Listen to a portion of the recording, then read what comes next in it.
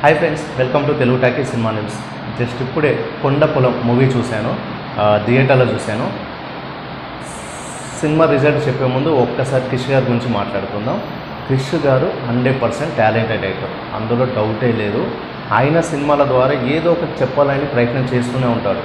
గమ్యం వేదం కృష్ణ వందే జయద్గురు కంచె మంచి మంచి సినిమాలు తీశారు. బట్ ఎందుకో ప్రాపర్గా blockbuster super hit hit బాగుంది అని చెప్పలేకపోతున్నా. ఉదాహరణకి కృష్ణవంద జగద్గురు ఉంది మంచి పాయింటే బట్ ఎందుకో జనాలకు ప్రాపర్గా రీచ్ అవ్వలేదు. అండ్ కంచె మంచి పాయింటే బట్ సేమ్ ప్రాపర్గా రీచ్ అవ్వలేదు. ఇప్పుడు అదే సేమ్ రిపీట్ అయింది కొండపొలంకి.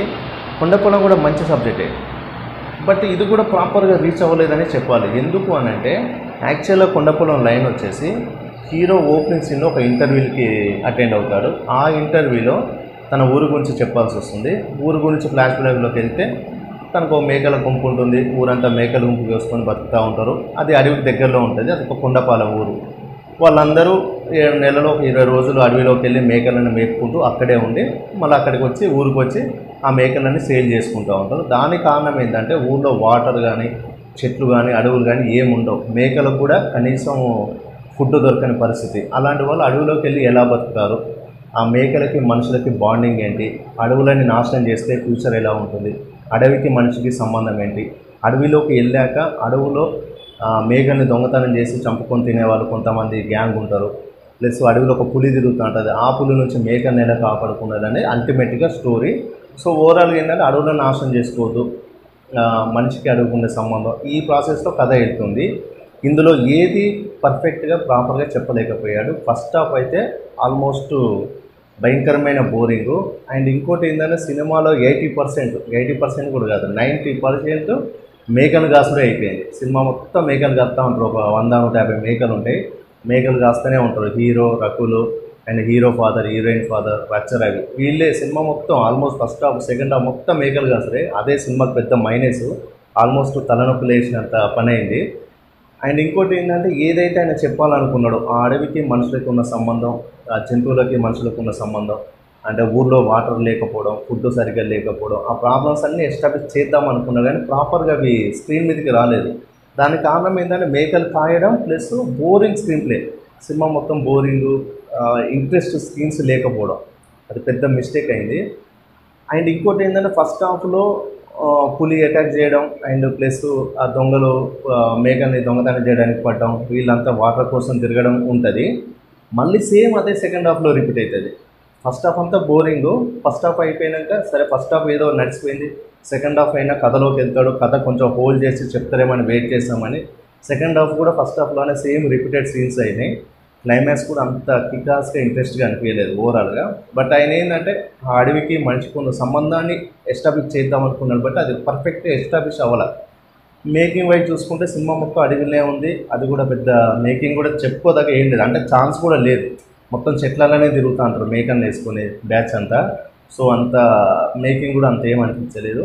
పర్ఫార్మెన్స్ మాత్రం చూసుకుంటే మాత్రం అందరు ఇరగొట్టారు. వైష్ణవ్ తేజ్ రెండో సినిమా కూడా చాలా బాగా ఇచ్చాడు పర్ఫార్మెన్స్ క్యారెక్టర్కి hundred percent apt and Rakul కూడా చాలా బాగుంది. ప్లస్ క్యారెక్టర్కి ఆ మేకలు కాసే అమ్మాయి క్యారెక్టర్కి పర్ఫెక్ట్గా సెట్ అయింది. అండ్ సినిమా మొత్తం కడప యాసలో ఉంటుంది.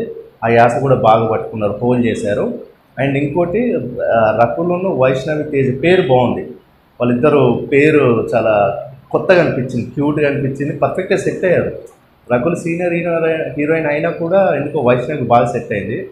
అల్టిమేట్గా రిజల్ట్ చూసుకుంటే రేటింగ్ పరంగా అవుట్ ఆఫ్ అయితే వన్ ఏదో చెప్పాలనుకుంటాడు బట్ అది పర్ఫెక్ట్గా రావట్లే. అది ఏందనేది కనెక్ట్ అవ్వట్లేదు. ఇట్స్ ఎ బోరింగ్ ఫ్లిక్ సినిమాలో నైంటీ పర్సెంట్ మేకలు కప్తా అంటే ఇక మనం ఏం చూస్తాం చెప్పాలనుకున్న పాయింట్ చెబుతూనే కొంచెం స్క్రీన్ ప్లేదో ఏదన్నా మ్యాజిక్ చేసి మంచి సీన్ రాసుకొని ఆయన చెప్పాలనుకున్న పాయింట్ని ఎలివేట్ చేస్తే బాగుంది అనిపించింది. ఎంతసేపు ఆ మేకల్ని కాపుకోవడం ఆ మేకల్ని కూలే వచ్చి తినకుండా కాసుకోవడం అక్కడ భోజనాలు చేసుకుంటా ఆ గంధం చెక్కల గురించి ఎవరు ఏం చేస్తున్నారని ఆ సీన్లు అంతా ఏదో బోరింగ్ బోరింగ్ అయిపోయింది సినిమా అంతా. ఏదో చుట్టి తీసేసిన ఫీలింగ్ అనిపించింది. ఆయన సినిమా మొత్తం సింగిల్ కాస్ట్యూమే సినిమా అంతా అడవిలోనే ఉంటుంది. అడవిలో hardly Racha Ravi team hero heroine father క్యారెస్ట్ hardly ఒక ఏడుగురు ఉంటారు. సినిమా మొత్తం వాళ్ళే ఉంటారు. మధ్య మధ్యలో కొంచెం రచ్చరవి పంచలవి వేసింది కానీ అది కూడా అంత ఎస్టాబ్లిష్ అవ్వలేదు.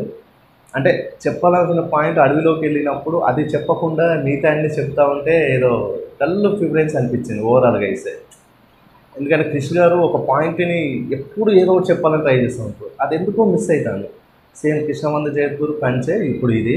అల్టిమేట్గా it's a flop movie commercial flop one time watchable అని కూడా చెప్పలేము. రైట్లో మంచిగున్నా కూడా కమర్షియల్గా కొన్ని కొన్ని ఉంటేనే అవి జనాలకి రీచ్ అవుతాయి.